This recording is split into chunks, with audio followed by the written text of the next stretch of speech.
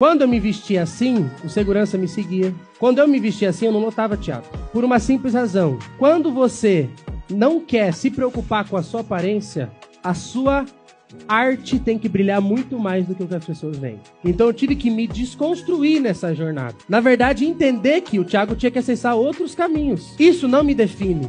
A roupa que eu uso não me define.